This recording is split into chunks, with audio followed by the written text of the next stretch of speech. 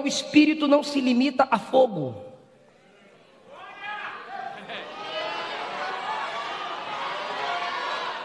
O espírito não se limita a manto. O espírito não se limita a reteté. O espírito não se limita a pular de perninha só. O espírito não se limita a pregar o tempo todo só em línguas estranhas. O espírito não se limita a muito grito e pouca comunicação. O espírito em Cristo, a plenitude do espírito que Cristo vivia, era espírito de instrução. Você se diz cheio de Deus, mas acha cara a revista da escola dominical. Você se diz cheio do Espírito Santo, mas não lê um capítulo da Bíblia do mês. Fica três meses sem achar o óculos. No quarto mês acha o óculos aonde? Na Bíblia. Pegou não, tá voando. Se diz cheio do Espírito, mas não sabe o que é um curso básico de teologia. Se diz cheio do Espírito, mas não consegue ler um livro do mês se diz cheio do Espírito, mas não sabe o que é culto doutrinário ou culto de doutrina culto da palavra. Eu não sei que espírito é esse que está enchendo esse povo sem Bíblia, irmão. Eu não sei que espírito é esse que não dá palavra para esse povo. Enquanto o Pai liberava a palavra, haja, o Espírito estava lá. Jesus, cheio do Espírito, é o Verbo, é a palavra. Paulo, cheio do Espírito, escreveu mais da metade do Novo Testamento. Onde tem o Espírito, tem doutrina, tem disciplina, tem palavra, tem pregação, tem mensagem bíblica. Até agora eu não pedi para dar glória a Deus. Se eu perceber que tem que forçar, eu, é aí que eu não peço mesmo. Porque onde tem plenitude da palavra, Deus é glorificado através do Espírito. Jesus dava instruções pelo Espírito. Tem muita gente que quando diz Jesus, eu quero ser, eu quero, eu quero o Espírito Santo, eu quero ser cheio do Espírito Santo. Aí um olha para o outro assim, e o outro está assim, ó. Que é isso, pastor? É uma dança, ué. É pecado, pastor? Não, ele quer se mover. É, é, é, é da tua conta? Judeu ora assim. Por que, que a gente não pode adorar assim?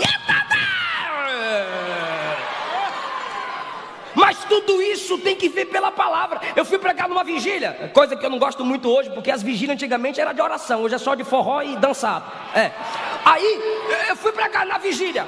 Aí eu, eu subindo na tribuna, o camarada olhou para mim e disse: Aqui não precisa pregar muita Bíblia. Eu disse: Repete. Não precisa pregar muita Bíblia. O senhor me conheceu onde? Não, eu te conheço, mas pelos, pelas mensagens que já vi, irmão, o negócio aqui é fogo, o negócio aqui é top. É só fazer o movimento que o fogo pega. Eu disse, querido, não sei que tipo de fogo é esse, porque a Bíblia diz: a palavra de Deus despede labaredas de fogo. É a palavra. Eu gosto disso. Geração que quando ouve um pastor pregar, ai, é muito devagar, é muito frio. Quando ouve um teólogo pregar, porque agora a moda é criticar teólogo. Nem sabe o que é teologia, quer criticar teólogo. Esse aí só prega teologia. Pregador vai pregar o que, rapaz? Crônicas de Nárnia. O que edifica a vida do crente não é crônica de Nárnia, não é história de gibi, é a palavra de Deus. Nervoso, pastor? Tô.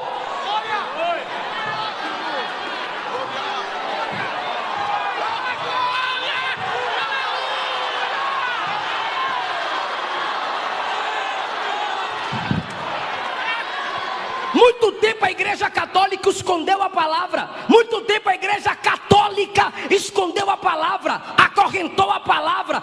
Riquinho tinha acesso. Só quem tinha título tinha acesso. Aí Deus levanta Zwingle, Deus levanta Lutero, levanta Calvino, levanta John Knox. A palavra está liberada para todo mundo que quiser meditar. A palavra está liberada para todo mundo que quiser ler.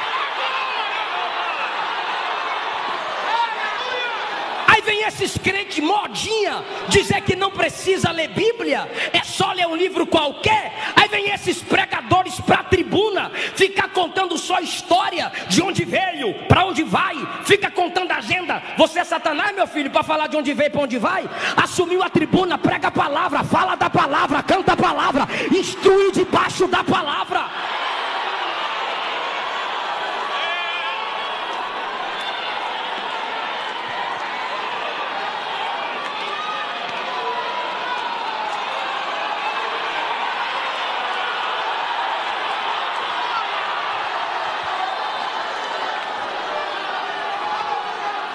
Instruções pelo Espírito.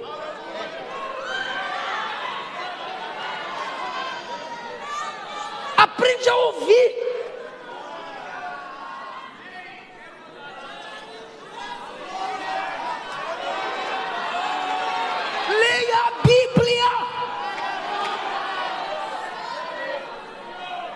Eles pagaram alto preço para a gente ter acesso à palavra. Pagaram outro preço. Agora, instruções pelo Espírito. A quem? Aos apóstolos que escolheram. Ah, agora entendi, aos apóstolos. Porque para ser apóstolo teve que ser? Teve que ser? Teve que ser? Eles, ah, eles querem falar. Teve que ser? E o que é que discípulo quer? Instru? Hum. Só se torna apóstolo se for discípulo, e só é discípulo quem quer instrução.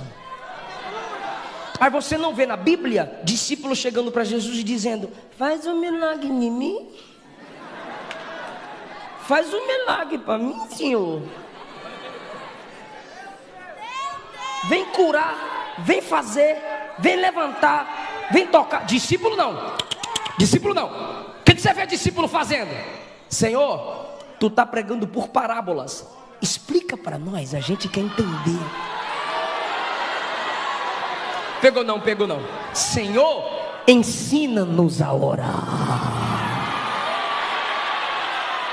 Senhor, quais serão os sinais dos fins dos tempos? Olha o que, que discípulo pede. Discípulo não pede milagre, não fica pedindo milagre.